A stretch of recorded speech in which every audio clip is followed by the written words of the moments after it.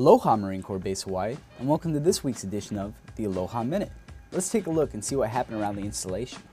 First, we had Marines aboard the base participate in an expeditionary mobile fuel additivation capability exercise. The MFAC was developed to supplement the supply provided by Defense Logistics Agency Energy, the primary agency responsible for providing the Marine Corps with additized fuel. Marines with Marine Wing Support Squadron 171, MWSS 172, and Marine Wing Support Detachment 24 participated in this training to increase efficiency and teamwork between the units.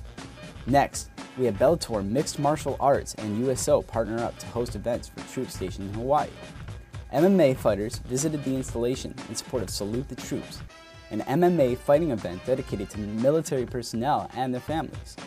Also, families of U.S. Marines with Marine Unmanned Aerial Squadron 3 took part in the unit's Deployed Spouses Brunch.